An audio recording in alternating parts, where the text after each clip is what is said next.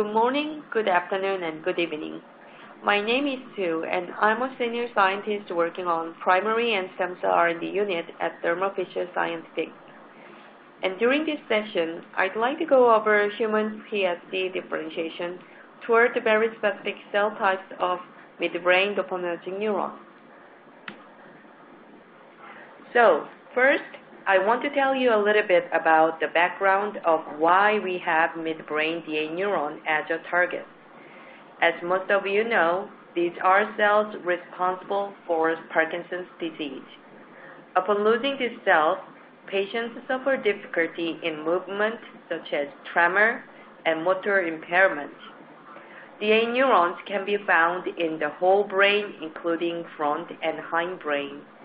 However, midbrain, and most specifically, substantia nigra is the location where our target DA neuron reside in. So, how we can make these cells? During development, it is just fewer than a dozen signal pathway that are iteratively used to specify all cell types in the body. In human, there are about 200 different cell types, and within these cells, there are 20 different types of structures or organelles. So you can imagine how subtle modulation is required to use this less than dozen signal pathway to come up with all these cell types. For example, all the cardiac, definitive endoderm, and neurodifferentiation use the same molecule of GSK3 inhibitor. However, they differ in concentration, timing, duration of exposure, and combinatorial to the other signaling molecules. In case of differentiation toward DA neurons, Wnt pathway modulates cell identity in anterior-posterior position, and Sonic-Hedgehog pathway modulates cell identity in dorsal-ventral position.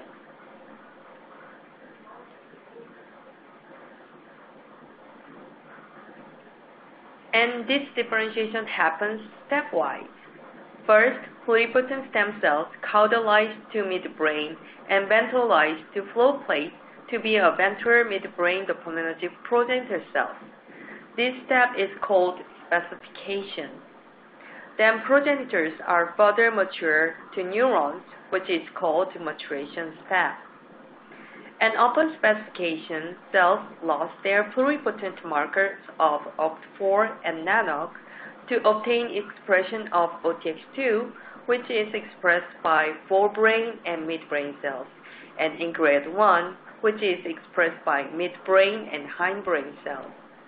On top of that, FOXA2, which is the floor plate marker, and LMX1A, which is uh, a DA progenitor markers, are expressed at this stage. And upon further maturation, cells express enzymes to deal with the neurotransmitter of dopamine, and this can serve as phenotype markers such as tyrosine hydroxylase, vesicular monoamine transporter, and dopamine transporters.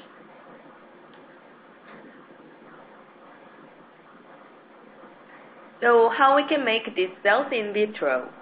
As you see in the previous slide, the nature of development behind this process are complicated, and making the cells following this process seems to be challenging.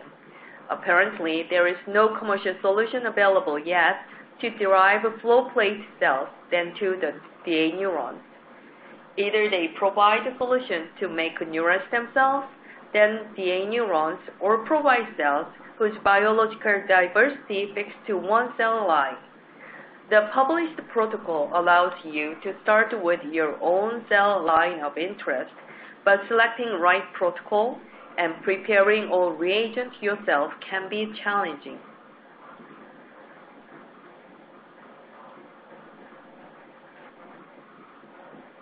To have this differentiation happen, one of the gold standard protocol requires six kinds of medium for specification, and culture need to be fed every day. Then Two kind of medium is needed for maturation. Most of all, you need to plan the experiment well, as you need to go over 50 days from start to finish without stopping point. We wondered whether we can come up with a better solution. We used statistic design model to develop simplified medium systems and small molecule screening methods to find a potent factor to replace unstable growth factors. From this effort, we could come up with systems as shown in this diagram. Cell specification can be obtained with one kind of medium, and progenitors can be matured to the A neuron using one kind of maturation medium.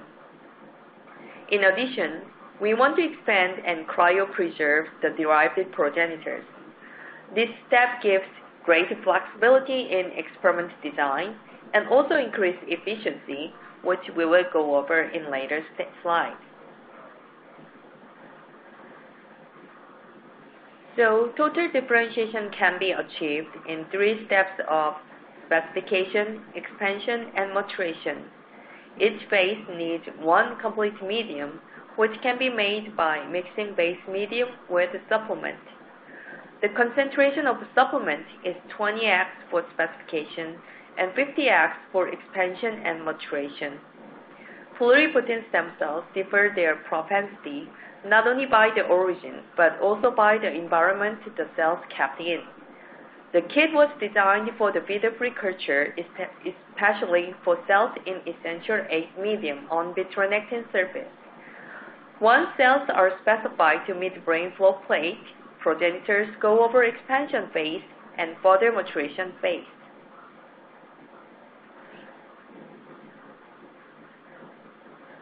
More In detail, the starting pluripotent stem cell cell density is the first critical step to gauge the right differentiation. Single-cell suspension from the fresh culture or cryopreserved vials will be plated on vitronectin surface in essential eight medium. To support single cells, overnight treatment either with ROCK inhibitor or with RevitaCell is required, which will be removed at time of medium change with a specification medium on the following day.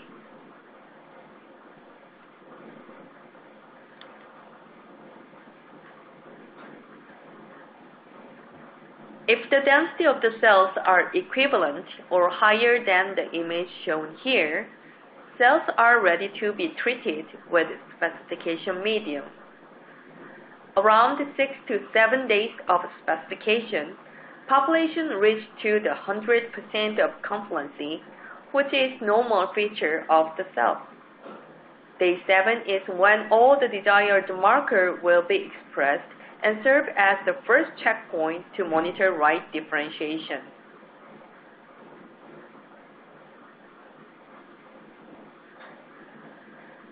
Here is the profile of cells after seven days of the specification.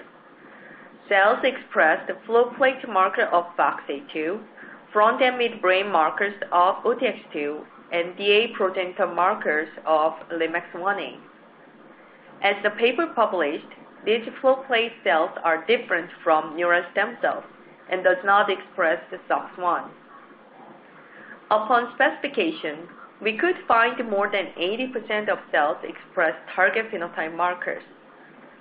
This phenotype marker expression can be examined as early as seven days, and we strongly recommend to check this phenotype marker expression before proceed to the next differentiation step of the expansion.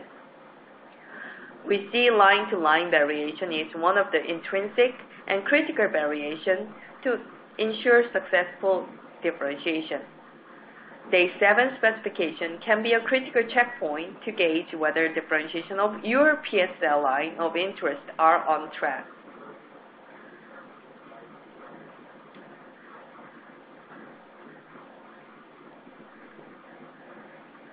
If the specification efficiency is lower than 60%, you should not proceed to the next step, but make sure that you start with the right population.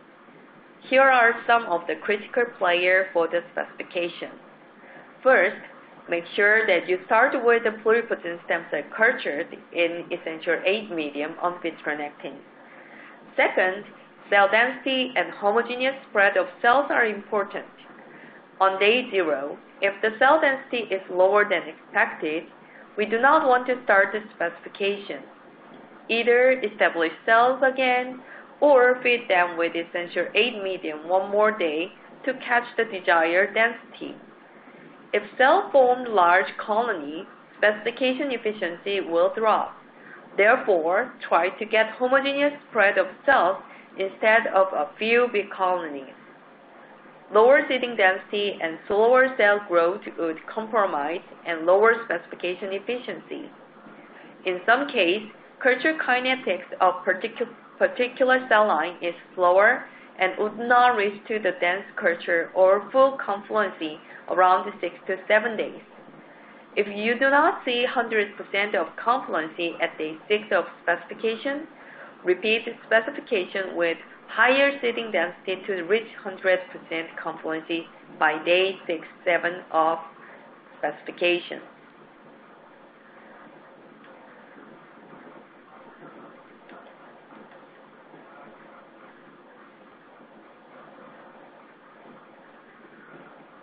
Once we confirm that we have cells with the right specification, we will go over to the next step of expansion.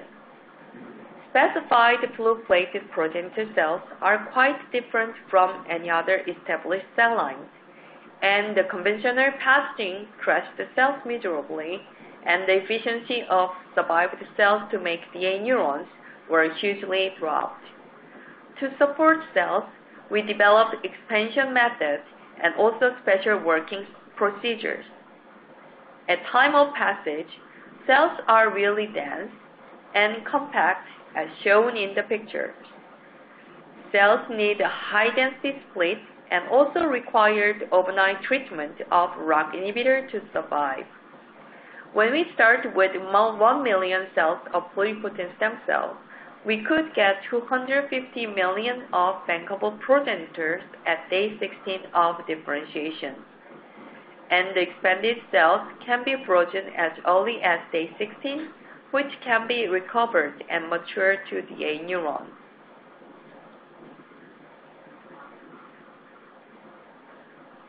Here is the comparison data demonstrating the benefit of expansion step. From the expansion step, we could create a working bank of progenitor cells, which you can go back to set up experiments from the midpoint instead of starting over setting up pluripotent stem cell culture, then go over specification step again. In addition, this expansion also increased the efficiency of the resultant DA neurons.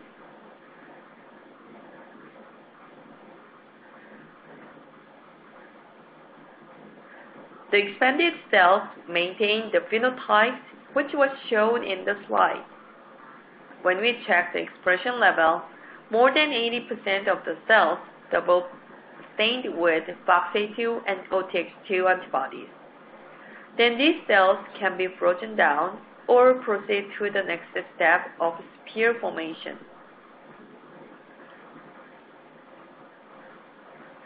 When we revived frozen progenitors, we found cells required specific configuration of sphere formation.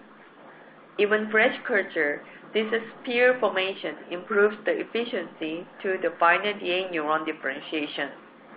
Upon thawing, cells will be resuspended in expansion medium supplemented with ROCK inhibitor. Next day, medium will be changed fully either by centrifugation or by using gravity. Sphere formation is critical step, especially for frozen floor plate progenitors. The two images are matured cells whose green pH expression are marked blue by computer software. As you can see, if cells were recovered as adherent, the efficiency toward matured DA neurons were greatly compromised, shown on the left panel. However, if cells were recovered as sphere, they do not change their neurogenic potentials as shown on the right panel of the image.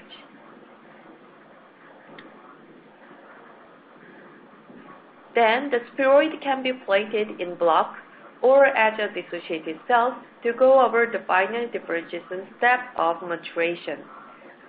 The frozen recovered or freshly singularized floor plate progenitor cells will be plated on double-coated plate. We found pre-coated PDA plate works great, but laminin coating needs to be prepared freshly.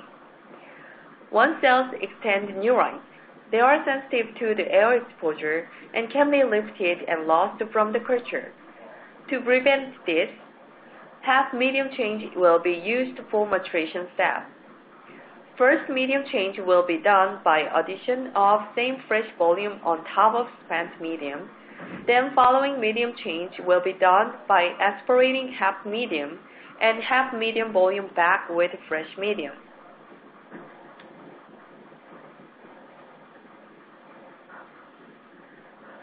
After 10 to 14 days of maturation, population resulted in FOXA2 and TH co-labeled neurons, whose representative image was shown in this slide. We have HCS studio software in-house to quantify the relative objective number of purity, which suggests around 20%-40% of TH neurons upon 14 days of maturation. The gene expression profile of differentiated cells were compared to those from published protocols. The target gene expression was examined using quantitative PCR, and relative fold increase was captured using pluripotent stem cell as a reference control sample. The gene expression profile suggested neurons made from Thermo Fisher DA kit has comparable profile to the neurons made from the published protocol.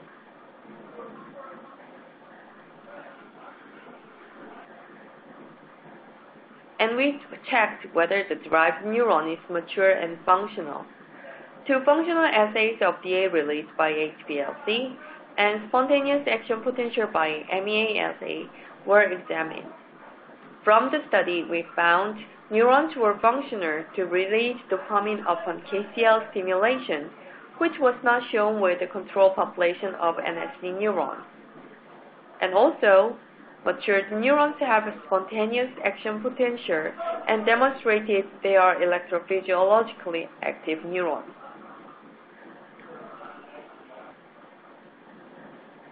We observed some lines are resistant and resulted in lower neuronal population overall than reference line.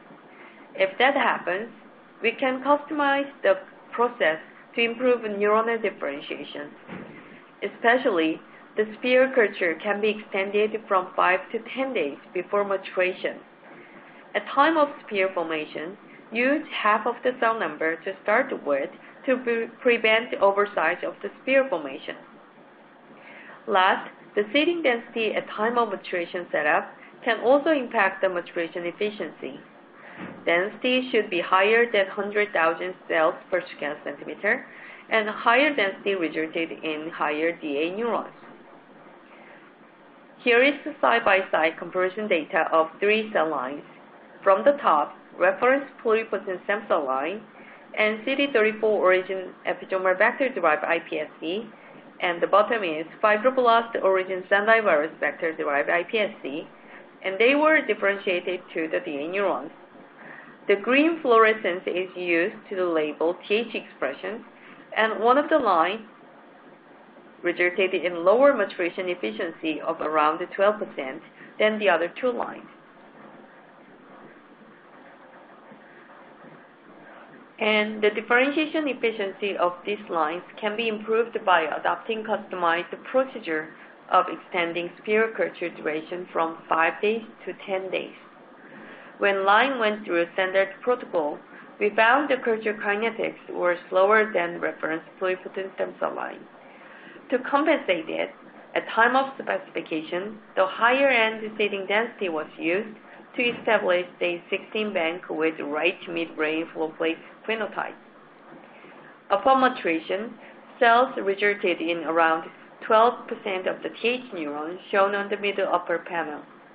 Then went back to the frozen uh, buyer to recover cells in sphere formation for 10 days instead of 5 days then could improve the differentiation efficiency more than 20% shown in the middle down panel.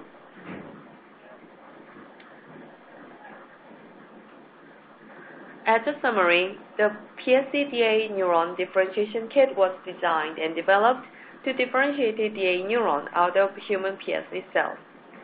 The resulting neurons are biologically relevant to have midbrain floor plate as a midpoint progenitors. As a kit, the medium components were designed to be simple to make and use. With expansion step, you can create large banks of midpoint progenitor cells. And the kit will allow not only the complete differentiation, but also giving you the flexibility to pause and restart differentiation, which will help troubleshoot and validate your system. Thank you for your time and hope this kit and information is helpful for your study.